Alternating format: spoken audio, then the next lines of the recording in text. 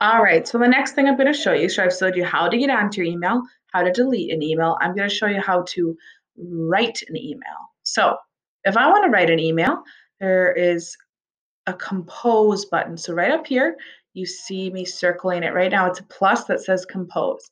So I'm going to press that and it shows up in the corner. Now I can leave it like this and type, or I can make it a little bit bigger to fit my whole screen.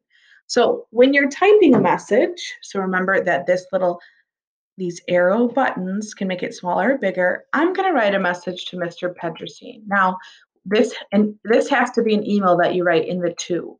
So because I've emailed Mr. Pedrosine before, it shows up.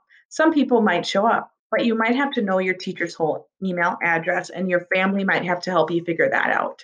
Um, but I'm going to type to Mr. Pedrosine, and my subject is going to be I have a question about math.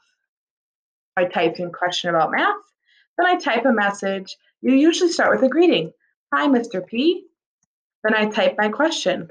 My question is, and then I would type my question. Oops. And then at the end of my email, I say, thank you, just to be kind. Thank you.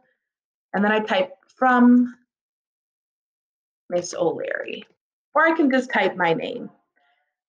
This won't show up on here. So I wrote his email first, I wrote my subject, and then my greeting, my question, and then I'm going to send it. So I'm going to move my little thing over here. Um, there's more features in email, but this is the main important part. So then I'm going to press the bottom, this little blue button that says send. So I'm going to circle that so you can see it. Down here is the send button. So now I'm going to click send. Alrighty, then it should send.